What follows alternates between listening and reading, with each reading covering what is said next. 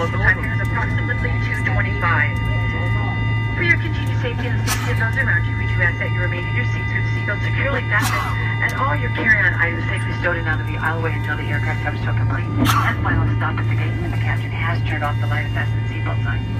This will be your one and only indication that it is safe for you to get out.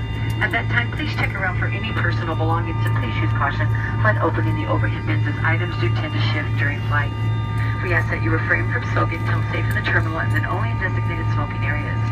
If you are claiming luggage here in Des Moines, please follow the signs to baggage claim. If you have any questions concerning ground transportation or baggage claim, one of our uniform representatives meeting the plane would be happy to assist you.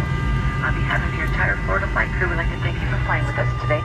It's been our pleasure serving you. We hope the next time you travel, you'll join us on another Allegiant flight. Visit the website allegiant.com to book future flights, car rental, as well as purchase tickets for local attractions, shows, and more. For those of you with cell phones within arm's reach, you may use them at this time.